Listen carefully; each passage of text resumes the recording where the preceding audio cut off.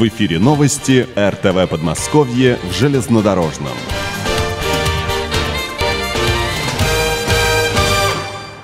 В историко-краеведческом музее городского округа Балашиха в рамках подготовки и проведения мероприятий, посвященных 70-летию победы в Великой Отечественной войне 1941-45 годов, состоялось второе заседание рабочей группы по подготовке круглого стола на тему «Взгляды современной молодежи на исторические события и итоги Второй мировой войны». Круглый стол как форма свободного обмена мнениями, такой городской. Но чтобы, знаете, не просто, так сказать, дать квоту, вот вы придите, вы придите, вы придите и послушайте там в очередной раз, э, так сказать, уже э, взвешенную, существующую оценку э, итогов Второй мировой войны. А вот чтобы э, как-то выявить интересные э, взгляды э, наших молодых людей, какое-то вот очень личностное отношение к тому, что происходило 70 лет назад и что будет еще что происходит сейчас.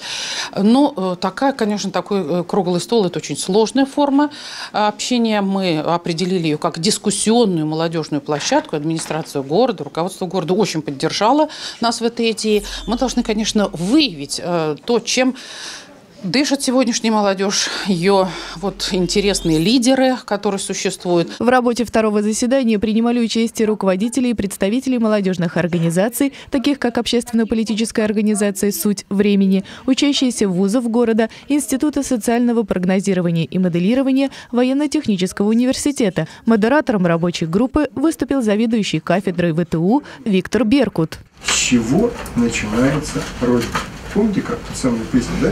Вот, маленький нюанс. Это твой дом, это твой двор, это твоя улица, это твой город, твой регион. Дальше, конечно, хорошо и здорово, но защищаешь ты именно вот эти аспекты. То есть его можно и нужно знать, а знаем мало.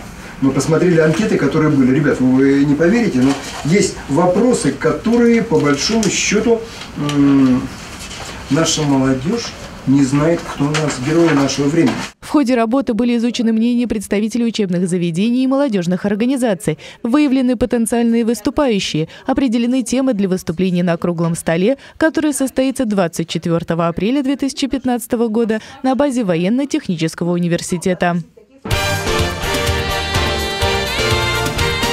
В эфире новости РТВ Подмосковье в железнодорожном.